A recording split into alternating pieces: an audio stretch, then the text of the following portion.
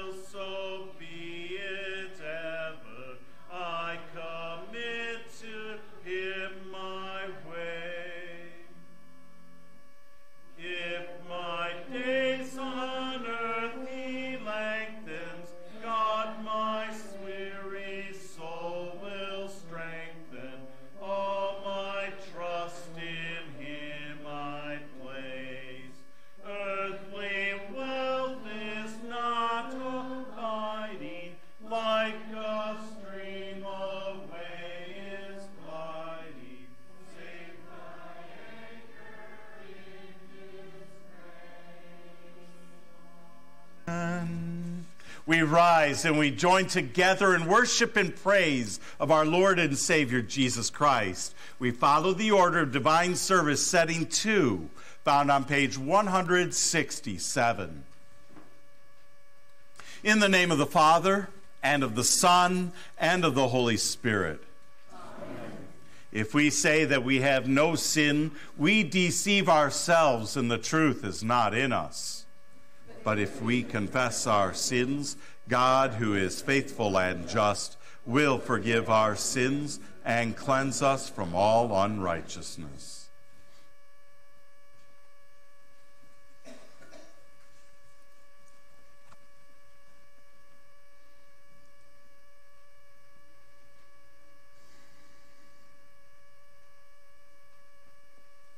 We then confess our sins to God our Father. Most merciful God, we confess that we are by nature sinful and unclean. We have sinned against you in thought, word, and deed, by what we have done and by what we have left undone. We have not loved you with our whole heart. We have not loved our neighbors as ourselves. We justly deserve your present and eternal punishment. For the sake of your Son, Jesus Christ, have mercy on us, forgive us, renew us, and lead us, so that we may delight in your will and walk in your ways to the glory of your holy name. Amen. Almighty God, in his mercy, has given his Son to die for you, and for his sake, he forgives you all your sins. As a called and ordained servant of Christ, and by his authority, I therefore forgive you all your sins in the name of the Father, and of the Son, and of the Holy Spirit. Amen. may be seated for the Kyrie.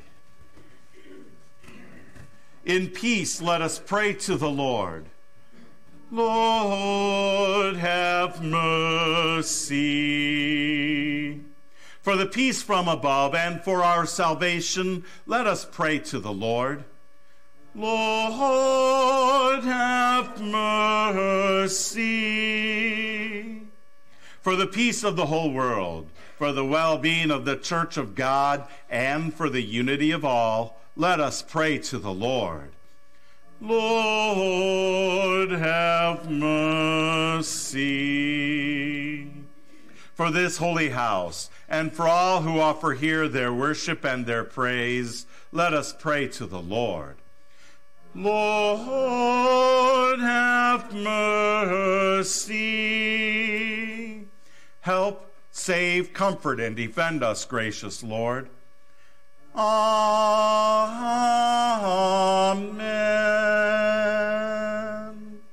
Glory to God in the highest, and peace to his people on earth.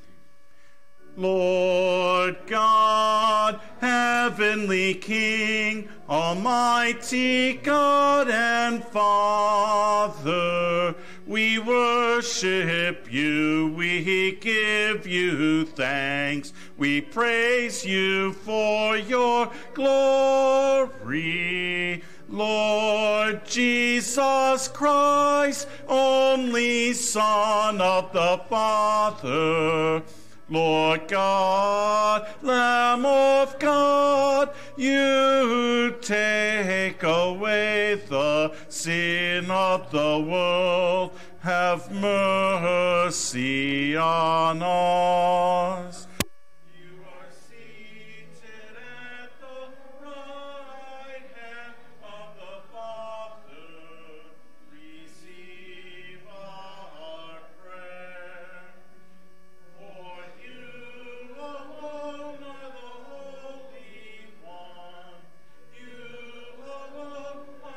Lord.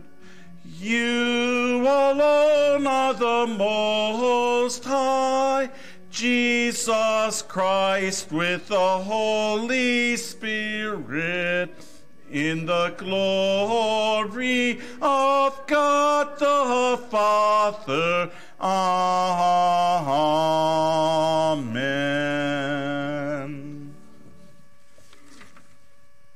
The Lord be with you.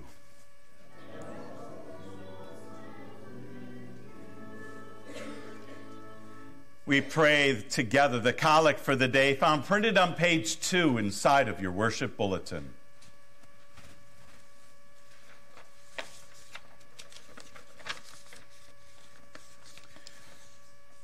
Almighty and ever living God, you have given exceedingly great and precious promises to those who trust in you.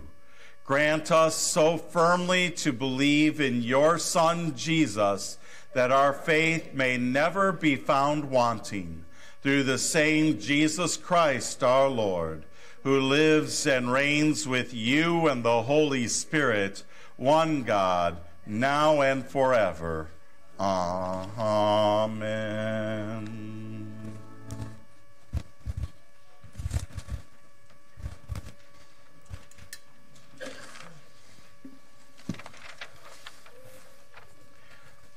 The Old Testament reading for the 25th Sunday after Pentecost comes from 1 Kings chapter 17. This will serve the basis for our meditation together this morning. Then the word of the Lord came to him Arise, go to Zarephath, which belongs to Sidon, and dwell there. Behold, I have commanded a widow there to feed you. So Elijah arose and went to Zarephath. And when he came to the gate of the city, behold, a widow was there gathering sticks. And he called to her and said, Bring me a little water in a vessel that I may drink. And as she was going to bring it, he called to her and said, Bring me a morsel of bread in your hand. And she said, As the Lord your God lives, I have nothing baked only a handful of flour in a jar and a little oil in a jug. And now I'm gathering a couple of sticks that I may go in and prepare it for myself and my son, that we may eat it and die. And Elijah said to her, Do not fear. Go and do as you have said, but first make me a little cake of it and bring it to me. And afterward make something for yourself and your son. For thus says the Lord, the God of Israel the jar of flour shall not be spent, and the jug of oil shall not be empty, until the day that the Lord sends rain upon the earth. And she went and did as Elijah said. And she and he and her household ate for many days. The jar of flour was not spent, neither did the jug of oil become empty, according to the word of the Lord that he spoke by Elijah. This is the word of the Lord. Our epistle lesson comes from Hebrews chapter 9. For Christ has entered not into holy places made with hands, which are copies of the true things, but into heaven itself, now to appear in the presence of God on our behalf. Nor was it to offer himself repeatedly as the high priest enters the holy places every year with blood not his own. For when he would have had to suffer repeatedly since the foundation of the world, but as it is, he has appeared once for all at the end of the ages to put away sin by the sacrifices of himself. And just as it is appointed for man to die once, and after that comes judgment, so Christ, having been offered once to bear the sins of many, will appear a second time, not to deal with sin, but to save those who are eagerly waiting for him. This is the word of the Lord. Please rise for the reading of the Holy Gospel. Alleluia, to, to whom shall we go? You have the words of eternal life. Alleluia, Alleluia. The Holy Gospel according to St. Mark, the 12th chapter. Glory to you, O Christ. And in his teaching, Jesus said, Beware of the scribes who like to walk around in long robes and like greetings in the marketplaces and have the best seats in the synagogues and the places of honor at feasts, who devour widows' houses and for a pretense make long prayers. They will receive the greater condemnation. And he sat down opposite the treasury and watched the people putting money into the offering box. Many rich people put in large sums, and a poor widow came and put in two small copper coins, which make a penny. And he called his disciples to him and said to them, Truly I say to you, this poor widow has put in more than all those who are contributing to the offering box. For they all contributed out of their abundance, but she, out of her poverty, has put in everything she had, all she had to live on. This is the gospel of our Lord. Praise to you, O Christ. We now join together in making bold confession of our faith in that triune God by speaking together the words of the Apostles' Creed. Those words are found printed for you on page 175. I believe in God the Father Almighty, maker of heaven and earth, and in Jesus Christ, his only Son, our Lord, who was conceived by the Holy Spirit, born of the Virgin Mary, suffered under Pontius Pilate, was crucified, died, and was buried. He descended into hell. The third day he rose again from the dead. He ascended into heaven and sits at the right hand of God the Father Almighty. From thence he will come to judge the living and the dead. I believe in the Holy Spirit, the holy Christian church, the communion of saints, the forgiveness of sins, the resurrection of the body, and the life everlasting. Amen. You may be seated for hymn number 738.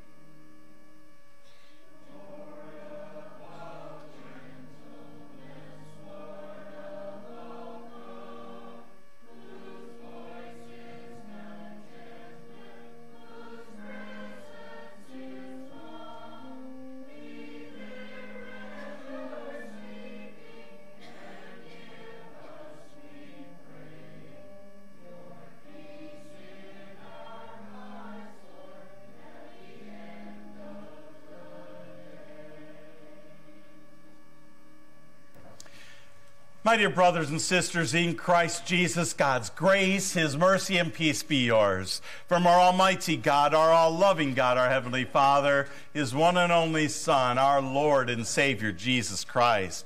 Please know that because He lives, we live, not just now, but for all eternity. May God grant us His Holy Spirit to create and keep that faith within us now and until life everlasting. Amen. My dear brothers and sisters in Christ Jesus, this is indeed a very special weekend. Um, yesterday was a very special festival. You have two answers for what yesterday was. Anybody know what yesterday was? Thank you, Susie. What was it? Martin Luther's birthday. That's exactly right. 135 years ago, yesterday, is when he was born. He was called Martin because he was born on St. Martin of Lourdes Day, which is celebrated in Europe and especially in Germany amongst Roman Catholics to this very day. Today is a very special day. Does anybody know what today is? Veterans Day. But because it is today and we are Americans, we can't celebrate it today. We have to celebrate it tomorrow because it's not a holiday unless you can't get your mail. Everybody knows that. But today is also, it's interesting because here, do you, by the way, do you know what else today is? Armistice Day, which is where Veterans Day comes from, so that's right. What, what's somebody? It's a very special day. It's the 100th anniversary of the end of World War I, and a child shall lead you. That's exactly right. It's 100th anniversary, and all Americans say the end of World War I. but because many of you know that I've spent a lot of time in Poland and amongst our Polish friends, they celebrate the 100th anniversary today, and it is a big celebration, parades and all that, that they become a country. Because before World War I, they were not a country for more than a hundred years. And at the end of World War I, when it ended a hundred years ago today, they became a country again. They have a lot to celebrate, don't they? And then again, another 20 years or so, they don't become a country again because of Adolf Hitler and World War II. World War I was the war to end all wars. Boy, was that wrong. Something about countries and and sinful human beings. We are at war. We have to mark these days. We have to have soldiers and all of that. And I want to be able to also tell you about a very special moment in history, if you will allow me. And I'll try not to bog you down with too many details, but I'm going to give you a hint of this part of history. There is a phrase that is used that says, let them eat cake. Do any of you know what that, who said that? Marie Antoinette. And now the rest of the story. It is attributed to Marie Antoinette, and this phrase was recorded, written down in 1765. Uh, in 1765, when Marie Antoinette was nine years old. She didn't say it. In fact, in the year 1845, that's right, you're going to have a test on all these dates in the year 1845, a man by the name of Alphonse Karr wrote his his rebellious paper, I'm going to put it that way because I don't speak French very well. In fact, I don't speak French at all. And in this paper is when he, in 1845, attributed that phrase, let them eat cake, to Marie Antoinette on the 50th anniversary of her death. Before that, it was written in, like I said, when she was nine years old in some fabled papers. There were six volumes called Confessions, and it said a great princess said it.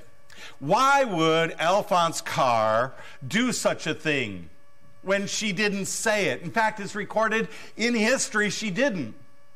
Well, according to Alphonse Karr, Marie Antoinette was living high and mighty, this Austrian princess who married French King Louis XVI, and according to him, that the peasants during the time of the famine were begging for food for most of their uh, most of their money about 50% of their income was spent on just simple little bread and Alphonse Karr said that during the French famines, um, Marie Antoinette was living high and mighty and enjoying her brioche, which is really the tr- French word that she s- supposedly said, the sweet bread or a sweet cake, and said, Well, let them eat cake. And she took a bite. Um, the problem is, there was no famine during the reign of King Louis XVI. Not at all. In fact, the famines came after the French Revolution, and King Louis XVI and Marie Antoinette were the last monarchy that really ruled because the French Revolution came. And to be fair, the French Revolution came during the end of King Louis XVI, and Marie Antoinette had her head cut off. And because of all of this, it's amazing how stories can develop over time and how it can grow, isn't it? It's amazing because what we have recorded is that Marie Antoinette from Austria cared very much for the peasants and would check on them and make sure that they were provided for. And yet she's remembered for saying, Let them eat cake. Now, why am I telling you all of this? simply because we get to go back into the Old Testament, 1 Kings chapter 17, and let me back up to 1 Kings chapter 16. And in 1 Kings chapter 16, we are told, and I'm going to spare you the detail, that this king of Israel did evil in the sight of the Lord. And this king of Israel did evil in the sight of the Lord. This king of Israel did evil in the sight of the Lord. And this king of Israel did evil in the sight of the Lord. Chapter 17, we get to the king of Israel that followed all those evil kings, and it's King Ahab. And if you don't know him, no, he's not the one who killed Moby Dick. That's something totally different. King Ahab married a woman that most people know, Queen Jezebel. And it's a phrase that we even use to be able to attribute somebody who is really wicked and mean.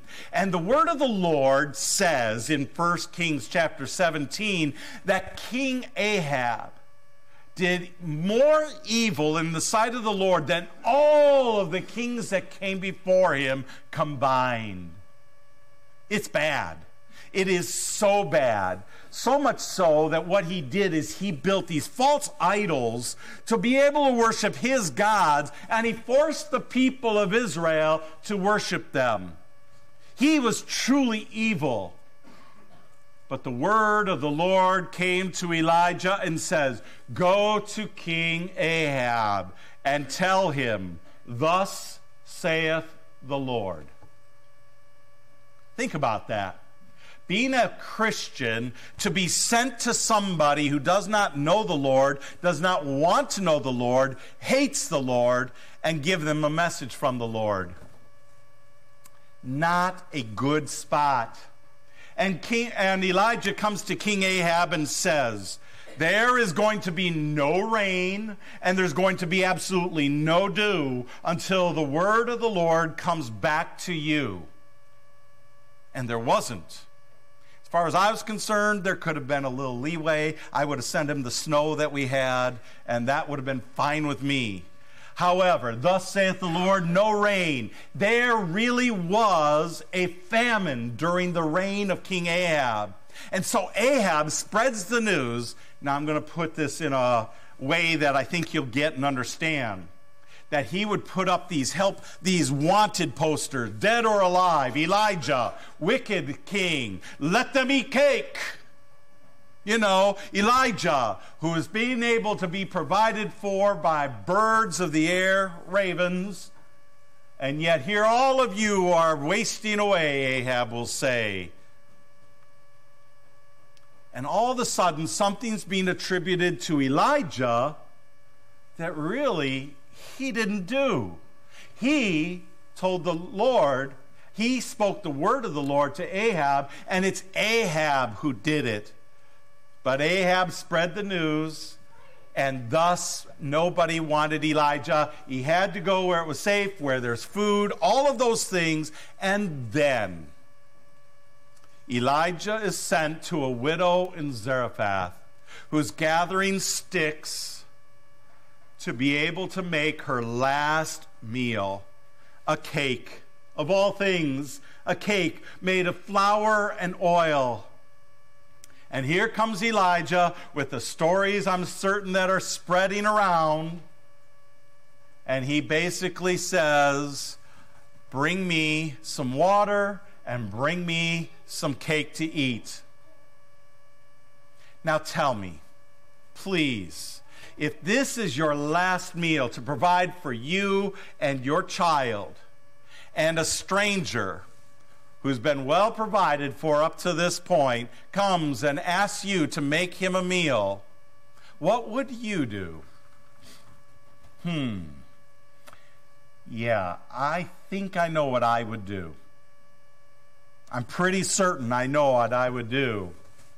But Elijah says, let them eat cake. In other words, not just from a negative perspective, but actually from a very positive perspective. If you will give me some water and a cake, I will promise you that the Lord will provide for you. Will provide for you. I want to share with you an experience that's very humbling for me, and it's very, very difficult and I'm put in a very difficult situation every time it happens. Every time I go to Africa, let me tell you, we are sent into these villages that just don't have much of anything, if anything. They don't always have much food. They certainly don't have much water.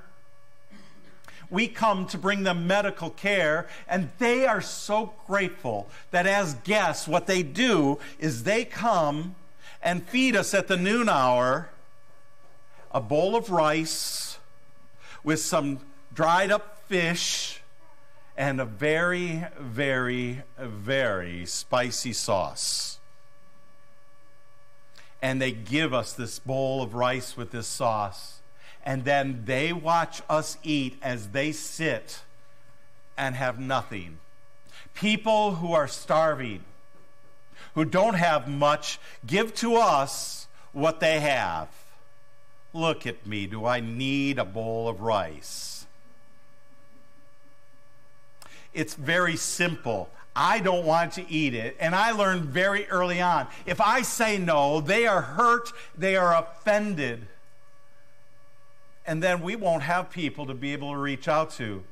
Or I could say yes and I could eat it, and then they have nothing to eat.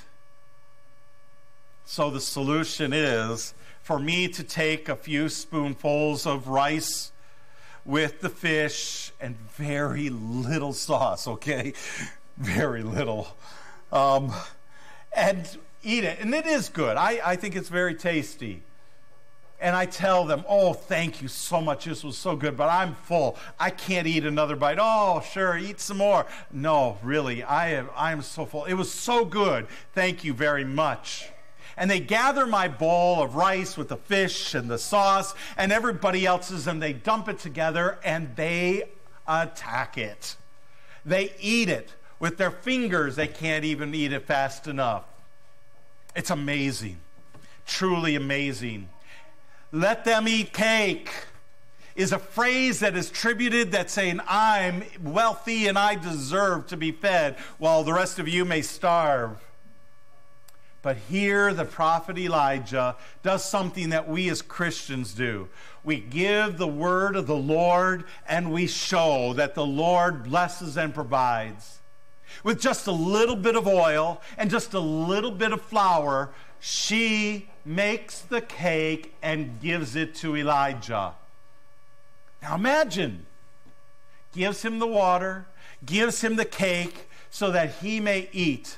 What a leap of faith she has. And when she goes back, there in the jar is some more oil. And there in the container is some more flour. She's able to make another cake and brings some water for herself and her son. Goes to bed, wakes up the next day, and the three of them have enough oil and enough flour to be able to eat again go to bed, wake up the next day. Guess what? This will blow your mind away. Yes, there's oil and there's flour, enough to feed them for the day. Guess what? The next day, the same thing. Enough oil and enough flour, enough for them to eat for the day. Do I need to keep going or do you have the idea? Because for about three years, this drought happens.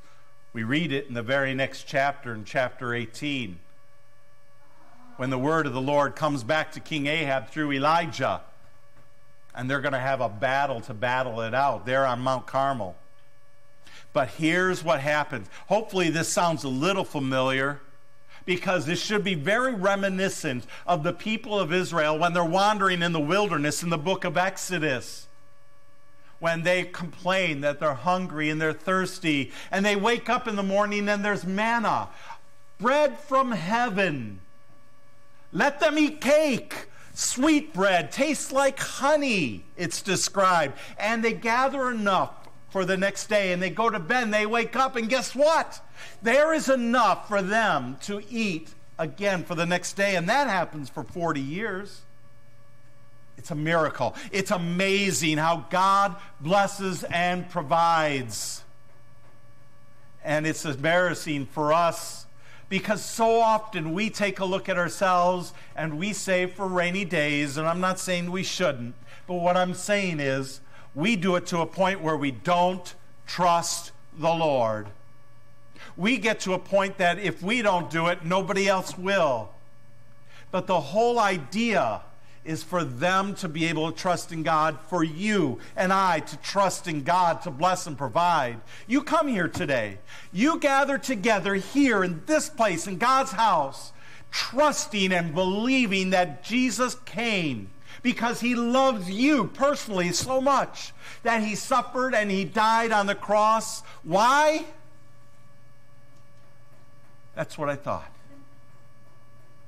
To take away your sins. And you'll wake up the next morning, and guess what? His death on the cross does the same thing to take away your sins. And the next day, to take away your sins. And he rose again to give you heaven. It's yours. It's all yours. Let them eat cake. Taste and see that the Lord is good, and his mercy endures forever. And if we come trusting and believing that He blesses us, that He loves us, that He forgives us, that He gives us heaven, that He does all of that for us, not by any work or merit on my part, we truly get to celebrate the wonderful goodness that God has given to us. Yeah, we stop this weekend and we know what the celebrations are. We know what the observances are. We know what history tells us, or at least parts of it. And in all of that, we see wars after wars. We honor our soldiers, and I think we should, but all at the neglect of God, who says lovingly, let them eat cake. Let them taste and see how good I am and how I bless and provide. Look at the lilies of the field and the birds of the air. And if I take care of them in all their splendor and glory, what do you think I've got in store for you? Taste and see. For I love you so much that I suffered, I died, and I rose again. Yes, we eat cake. We enjoy the goodness that God has for us, and we trust and believe that He has provided and He will continue to bless and provide. That's his promise and his assurance. To God be the glory, and you that blessing. Amen and amen. And now may that amazing grace of God and the peace that we draw from it, let it keep your hearts and your minds and lives in him now and until life everlasting. Amen.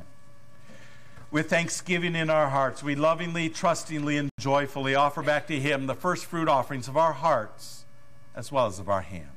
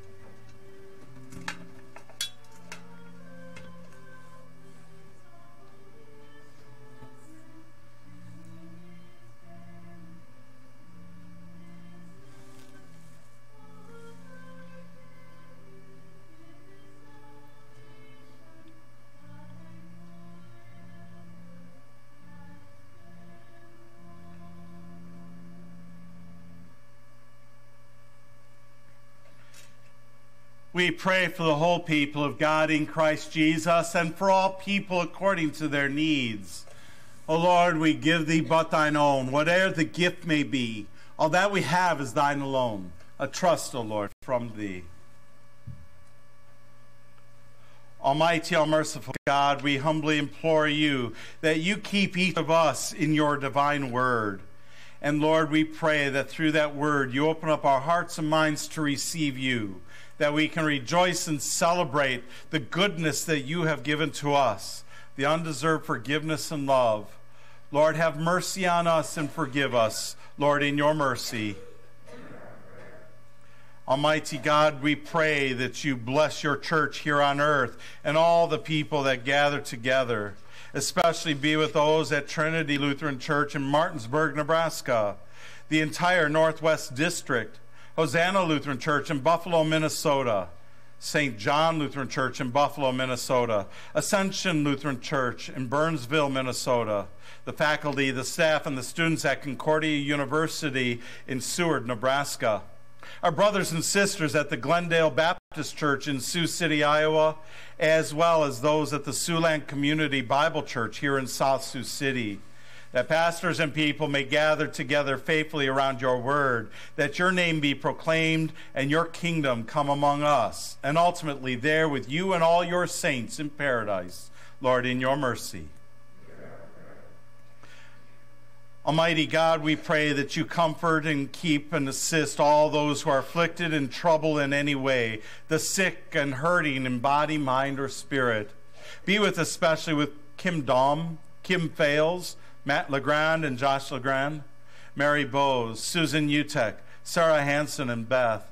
Be with Kathy Mast, Pastor Jeff Walsh and Joanne Walsh, Howie Holenreed, Kimberly Christensen Bolke, Lee Umland and Justin Miller. Be with Charlie Connect, Roxanne Dom, Dennis Fisher, and Karen Neeson. Be with Lyle Todd, Shirley Haar, Bob Dormeyer, and Rick Zimmerman.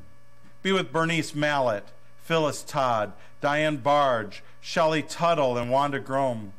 Be with Ken Todd, Bonnie Schneider, Scott Kissinger, Don Mallet. Be with Penny Parker, Randy Knuth, and Carolyn Stoor. Guide them, keep them in your care and grace, and remind them that you are their rock and their fortress. O Lord, be their great physician and healer, and have mercy upon them. Lord, in your mercy. And Almighty God, we pray that you bless the mission of your church here on earth, that your people may come to know you through us, that through our words and our actions your name may be glorified. Help us, like the widow of Zarephath, to put our faith and trust in you, that you alone are the one who blesses and provides. Lead us and guide us, Lord, in your mercy. Into your hands, O Lord, we commend all for whom we pray, trusting in your mercy through your Son, Jesus Christ our Lord. Amen. We rise and pray together the Lord's Prayer. Our Father, who art in heaven, hallowed be thy name. Thy kingdom come, thy will be done, on earth as it is in heaven. Give us this day our daily bread, and forgive us our trespasses, as we forgive those who trespass against us. And lead us not into temptation, but deliver us from evil. For thine is the kingdom, and the power, and the glory forever and ever. Amen. The Lord now bless you and keep you. The Lord make his face shine upon you and be gracious unto you. The Lord lift up his countenance upon you and give you his peace. Amen. Amen. Amen.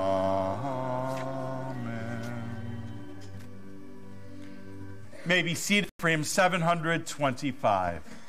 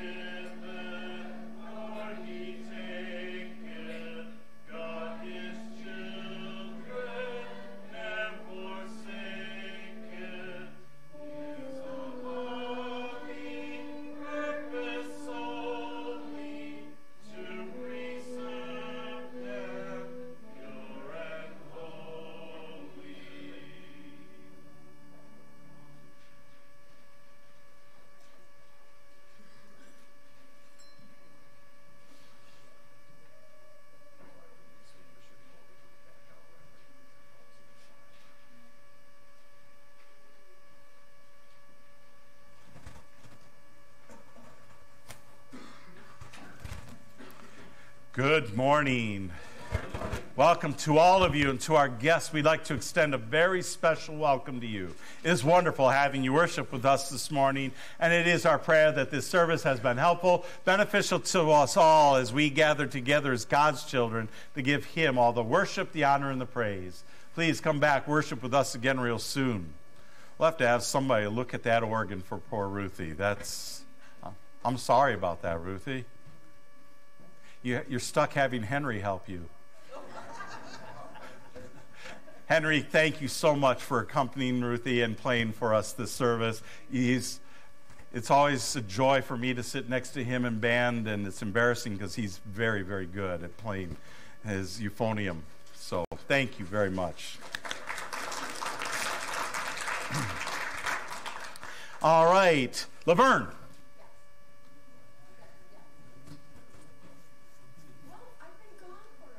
I know. You got a lot of announcements to catch us up on. I know, I know. I know. Okay. Uh, good morning.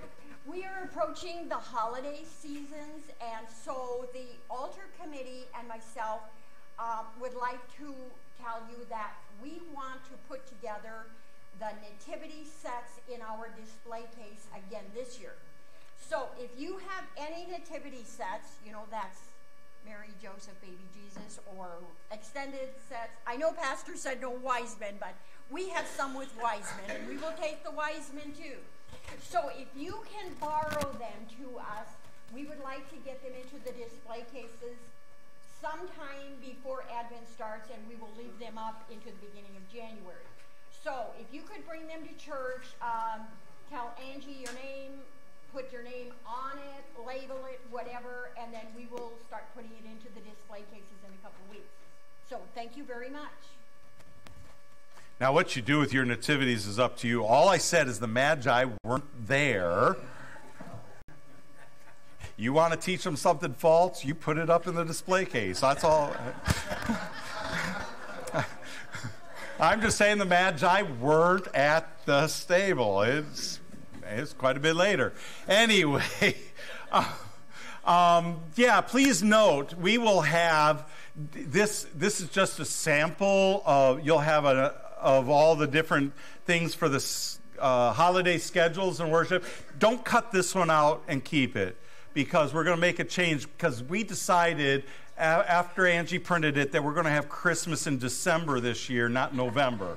So don't cut that one out. Um, but next week we'll have that changed, and the Christmas Eve is December 24th, and Christmas Day is December 25th.